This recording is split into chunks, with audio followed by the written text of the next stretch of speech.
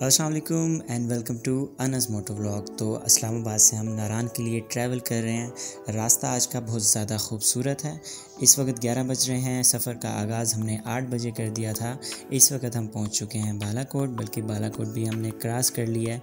इस वक्त हम किवाई वाटरफॉल के करीब हैं। तो रास्ता बहुत खूबसूरत है। सुबह सुबह मौसम काफ़ी सर्द था और हल्की हल्की सी बारिश हो रही थी। रास्ते में बहुत ज़्यादा बादल भी थे, क्योंकि ये जो डेज़ हैं, इन इन डेज़ में जो वेदर हमने देखा है, वो सबसे ज़्यादा बारिशों वाला बता रहे थे। तो बहुत मज़ा आता है इस मौसम में ट्रैवल करने का साथ साथ एहतियात भी करनी चाहिए कि आप स्लिप ना हो जाए आपका बाइक या गाड़ी। एंड इसके अलावा लैंड स्लाइडिंग का इस मौसम में काफ़ी खतरा होता है तो इस चीज़ का लाजमी ख्याल करें।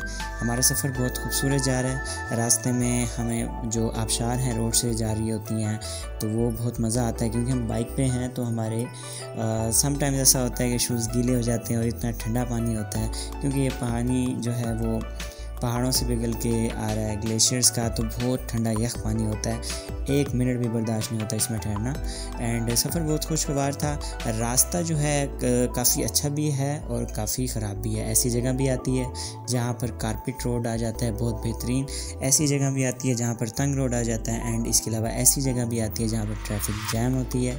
और ऐसा रास्ता भी आता है जो टूट फूट का शिकार होता है और कीचड़ जमा हुआ होता है।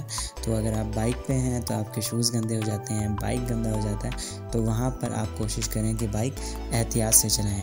एहतियात से चलाने का ये फ़ायदा होगा कि कीचड़ में आपका बाइक स्लिप भी नहीं होगा और साथ ही जो आपके लोग ट्रैवल कर रहे हैं या पैदल जाने वाले हैं तो उनके ऊपर कोई भी कीचड़ वगैरह, इस तरह से कोई चीज़ नहीं जाएगी। इस तरह से लोगों की दुआएँ लेकर आप भी अपने सफ़र की तरफ़ पहुँचेंगे और इस तरह आप भी महफूज रहेंगे।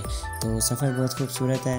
इन उम्मीद है कि हम शाम तक नारायण पहुँच जाएँगे, तकरीबन सात बजे या छः बजे और बहुत मज़ेदार ये सफ़र होने वाला है। आप अगर आ रहे हैं नारायण के लिए तो ऐसे मौसम में, मीठे मीठे मौसम में ज़्यादा कोशिश किया करें, सफ़र किया करें, ना कि रास्ते में धूप वगैरह हो, मौसम देख कर आया करें।